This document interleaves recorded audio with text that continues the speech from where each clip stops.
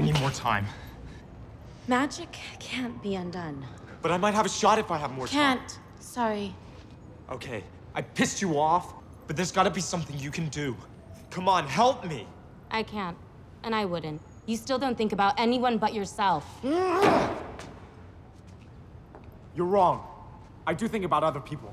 I think about Lindy and what her life is like, and I think about a woman who can't see her kids and a man who can't see, period. So he cares now. Yeah.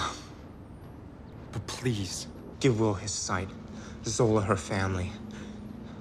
It's the least they deserve after being trapped in this hell with me. I'll help them, if you succeed.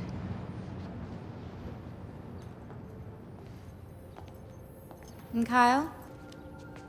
Good luck.